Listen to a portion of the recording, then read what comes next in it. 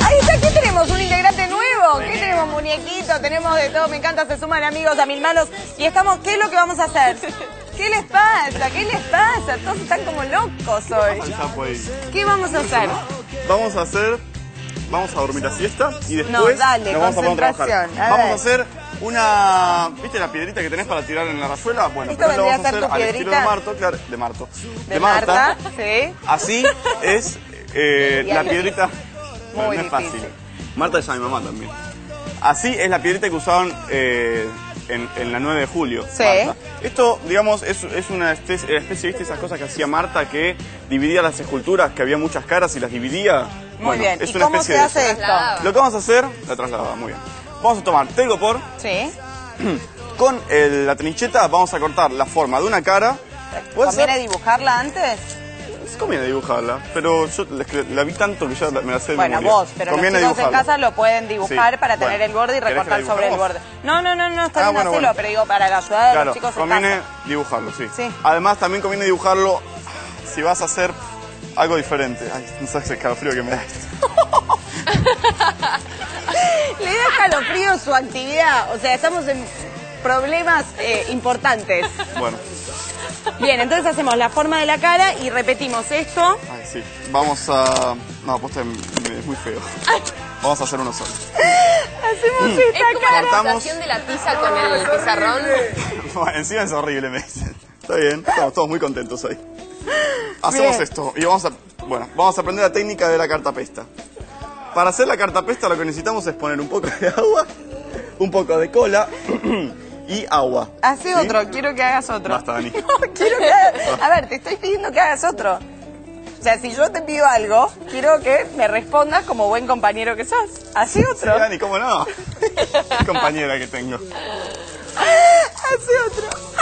Cara, por favor, ponse en esto. La cara, la cara, hacelo, ¿eh? No pares vos. Vos tenés una- varias caras quiero que hagas. No voy a hacer nada ahora. Bueno. ¿Listo? ¿Ya estamos bien? Bueno. ¿Se divirtieron todos No, en casa? otro. Basta, Dani, basta. Está, bebé. Parece un mate, me parece argentino. Este, yo, yo sabía que por algo no había que hacer este ejercicio. Él, le cuento a la gente en casa, él no lo quería hacer. Él dijo, no, no, no llego, no llego. No es que no llegaba, no quería cortar el telgopor. Qué cosa. Y mientras tanto me pongo serio y les muestro y le agradezco a Marta. Esto fue en homenaje a nuestras mil manos. Como todos los artistas nos estampan su mano para nuestro corto, ella nos hizo sus caras súper conocidas y nos regaló esta imagen que la vamos a sumar a todas las de los demás artistas. Muchísimas gracias. Marta. ¿Listo? ¿Ahí se vio? Muy bien. Qué lindo. Este, mira, justo es lo que estamos haciendo ahora. ¿viste? Por eso lo mostré en ah, este momento. No te escuché, pasa, estaba tan concentrado en... ¿Eh? Perdón, ¿No? perdón, perdón, perdón. Bueno, la cartapesta. ¿Cómo se hace la cartapesta? Vamos a empezar a hacerlo porque no tenemos tiempo para terminarlo. ¿Viste qué rápido que dije eso? Bueno, y vamos a tomar papel, ¿viste? Sí. Tipo papel de servilleta. cocina, De o de cocina. servi- esos que vienen de rollo de o papel cocina. higiénico, lo que tengas en tu casa. Bien. Lo vamos a colocar en la mezcla que hicimos de agua con... Cola. Cola. Fíjate que tenga que tener más cantidad de agua que cola. Bien. ¿Sí? Lo, lo mojamos así bien y después a esto lo vamos poniendo por encima, sin escurrirlo, de el. Directamente. Directamente. Vamos a llenas todo el hacerle... telgopor con papel mojado en agua y cola. Claro que sí. Bien, ¿y después? Bueno, bueno, después espera. espera que terminemos con esto. El tiempo Una de vez... la televisión es tirano. El tiempo de la televisión, querida. Es tirano. Ahí está, estiralo, sí. Estiralo. Una vez que a- a- vamos terminando con esto, que no lo vamos a terminar en este momento, lo que hacemos es muy simple, es en realidad pintarlo como cada uno quiera, ¿sí? Por eso, hacemos ¿viste? varias caritas de estas, varias, Por eso ponele ahora que acá quiero hicimos me sigas cuatro. cortando telgopor. Y te quedaría así, No lo o voy a sea, hacer. cortás la cara Lo de que haces, telgopor. terminas la, la- la cantidad de caras de telopor que quieras, le haces la cartapesta, espera que se seque, las pegás una encima de la otra, ¿cómo hay que pegarlas? Una sobresalida, así, ¿ves? Claro. Una así, otra acá, otra acá.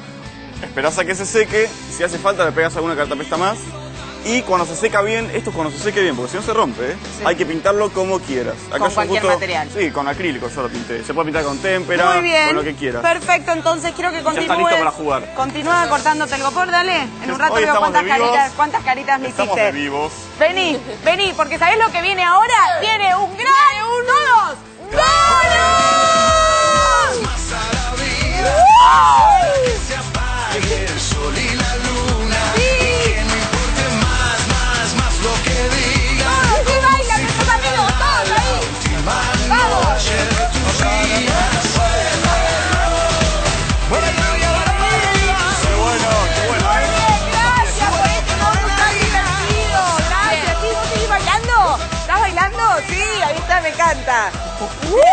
¿Cómo es ahora? Me faltó. Concentración. Al centro, Me exactamente. encanta hacer eso y a mí me encanta que lo haga. Perfecto, bien. Luego de este revuelo, vamos a ordenar un poco la mesa. ¿Sí? Me metía un peluche ¿Qué es lo por que todos vamos a lados. hacer? Ahora vamos a hacer un super morral con un pantalón cargo. Tenés un pantalón ahí que... ¿Un pantalón qué? Cargo. ¿Viste esos pantalones que tienen los bolsillos puestos? Ah, eso se llama cargo. Claro. Mira. Claro, exacto. Esos pantalones para trabajar y ese tipo de cosas que por ahí se gastó y ya no da para más. Lo traes acá y te hacemos un súper, súper morral, como ese que tenemos ahí. Qué lindo, me ¿Viste qué lindo? Y te llevas tu pantalón a todas partes. Claro. A hacer algo así. Claro, lo transformás, lo reutilizás y te lo seguís llevando a todas partes. Siempre llevas el pantalón a todas partes. no, pero quiere decir que lo seguís usando. Ah. No te metas, seguí cortándote el polvo, dale. Basta, bien, Bien. Ahora lo que hacemos es agarrar nuestro pantalón, pantalón, y vamos a aprovechar. Sí. y vamos a aprovechar que tiene un bolsillo para utilizarlo, obviamente. Ya que lo tenemos hecho, lo vamos a utilizar. Bien. Y lo que hacemos es cortar un cuadrado simple, porque esto es lo que se va a convertir en la solapa de nuestra cartera, ¿no? Bien. Morral, cartera es lo mismo. Y lo que hacemos es cortar con la tijera. Espera. Está medio. Ahí está. Chicos, tengan paciencia, tengan Sí, paciencia. chicos, ustedes se piensan que todo sale así rapidísimo. No, no, no. Hay que tener paciencia acá. Aparte y acá una tengo tela, una. claro, porque- Claro, y acá encima tengo esta super costura. Bueno, digamos que en casa lo que tienen que hacer es tener Una paciencia. sierra eléctrica. Ahí va, ahí va, ahí va. Ahí va, ahí va, ahí va. Ahí está. Listo. Muy bien. Bien. Cortamos todo nuestro solapa por los bordes. Para que la corto ahí también. ¿Y no tenés Bueno, el paso no adelantado? Sí, vamos a hacer más fácil porque Más fácil. el en casa te este- cortás el cuadrado utilizando el bolsillo para que te quede como... Exacto. Como este que tengo aquí. Muy bien. Y lo que hacemos es, como lo vamos a cortar y va a quedar todo el borde mm, pelucita, digamos, Sí. que se puede deshilachar, la idea es agarrar, no sé, algún tipo de cintita, como las que tenemos acá, cintita al 10, o si quieren totora, que tanto la nombramos y seguramente la tienen en casa ya, le pueden... das el borde, Claro, le haces el borde y la emprolijas un Muy bien. Y esto lo cosemos y queda aparte. Y ahora, para hacer la base de nuestra cartera, el frente y la espalda, utilizamos otro pantalón, pero por la idea de que quede contrastante, ¿no? Para que Que quede... no queda igual. Claro, para que quede como diferente y, y Sí. tenga un poco de diseño, un poco de onda. Entonces utilizamos otro pantalón que tengamos en casa, que ahí ande dando vueltas, que no lo use más nadie, y cortamos la pierna del pantalón, ¿no? Como tengo en este caso acá. Y haces también un retazo como del mismo tamaño que este. No, lo hacemos más grande. Más grande. La solapa es unos centímetros más chiquita, pero la parte de atrás es un poco más grande. Y lo que hacemos acá es, no sé, te corto este, ponele. Sí. Tenemos la pierna, acá tenemos una pierna y simplemente la cortamos, así. ¿Querías el pantalón? Ahora no lo ¿Querías tenés el más. pantalón? Ahora no tenés pantalón, ahora tenés morral. Claro. Acá tenés la pierna, Claro, o bermuda también. también te queda una bermuda y un morral. Dos cosas. Y lo abrimos por uno de los lados. Entonces, ¿qué es lo que pasa? Te queda más grande. ¿No? Ahí. Bien, Perfecto. ¿Ves? Perfecto. Ahí está. buenísimo. Esto es lo que hice con estos pedacitos que tengo acá. Bien. Entonces, lo que hacemos es cortar, obviamente, dos para el frente y la espalda y una tira, que la podemos cortar con esta tela o con la tela esta para seguir haciéndolo el contraste que me gusta, que queda bueno, ¿no? Lo que hacemos ahora es alfilerear estas cosas. Como no tengo en este caso, alfilereamos. Yo siempre les cuento que voy cambiando porque como son reutilizar pantalones nunca tenemos el mismo, entonces por eso tengo diferentes colores y diferentes versiones. Lo que hacemos es alfilerear la tira esta que cortamos, que esta tira la sacamos con la medida de nuestros cuadrados. Esto viene a ser así. Centímetro, medimos. Los cuadrados que cortamos lo apoyamos en uno de los bordes. Vamos hasta la Estos esquina. que me habías mostrado antes. Claro, estos que estamos acá. Que lo sacaste de las piernas. que lo saqué de las piernas, hacemos, apoyamos sobre un extremo una esquina, vamos hasta la otra esquina, Sí. hasta acá y hasta acá. Ahí. Sí. Claro, doblamos, doblamos, doblamos y lo que nos da, que en este caso es 92, va a medir la tira. Así. Ah, mira, con eso sacás el- el- la medida de la tira. La medida, no, la medida de la tira que es el fondo de nuestra cartera, Ah, esta tira. La otra la medís directamente Con lo que así. quieras, claro. Claro, si querés que te quede un largo No, específico, listo, perfecto, haces sí. así y ahí tenés la medida. sino medio extraño, pero ahora se Te pareció una técnica medio rara. Claro, era medio extraño, pero entonces esa tira que me diste a- eh, con todos Sería estos el bordes fondo sería de la el fondo cartera. de la cartera. Claro, se le llama fondo. Es el, el ancho que va a tener nuestra cartera para guardar las cosas. Eso también, se fijan ustedes el tipo de ancho que quieran. Más ancho, más cosas le van a entrar, obviamente. Muy bien, parece morral divino. Claro. Y entonces, bueno, Dani, no sé, te quedo, me quedo acá alfilereando. Muy bien, perfecto. Entonces, mientras ¿Así? que ella empieza a coser nuestro morral, me voy a ir con Flor a la cocina. Flor, ¿ya están esas tartas? Y ya está, ya está, ya está. Esta tarta quedó genial. Esta es la que hicimos, recién la acabo de sacar del horno. Y no termina acá, porque con esta música yo te voy adelantando que ¿Qué? hoy tengo más, más. ¿Me das? cada día más.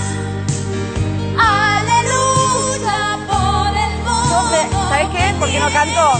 Me parece como una amenaza a Valeria Lynch. Sí. Dije, Por ahí se ofende. mejor no cantamos, mejor hacemos la mímica. Te debo la invitación de Balearis. Me la debes, quiero Te que la practiques para el bonus del día de mañana. Fácil, Muy bien. fácil. Mira qué fácil este bonus. ¿Viste las clásicas manzanas asadas? Bueno, yo te voy a enseñar a hacerlas porque es muy fácil. ¿Cómo? Primero, con una fuente, si tenés de vidrio, si tenés de metal, no hay ningún problema. En tu casa las podés hacer igual. Primero, fíjate que las manzanas sean más o menos chiquititas, Iguales. claro, porque esto se usa generalmente para comer postre. Como a presión, va a ver, bueno. Una vez que tenés las manzanas, te decía el tamaño porque si no, una manzanota de esta de postre es como el almuerzo entero. Claro. Entonces, vas a agregar agua, tampoco al revés, hasta la mitad de la altura de la manzana. Entonces, ahí tenés la mitad de altura de la manzana y ahora vas a saborizar estas manzanas. Yo en este caso les voy a agregar azúcar. Azúcar. ¿Por qué? Azúcar. Porque la manzana verde es muy ácida, chicos. Entonces pónganle azúcar, bastante azúcar. Yo después les doy las cantidades. Si no, preguntan por Facebook.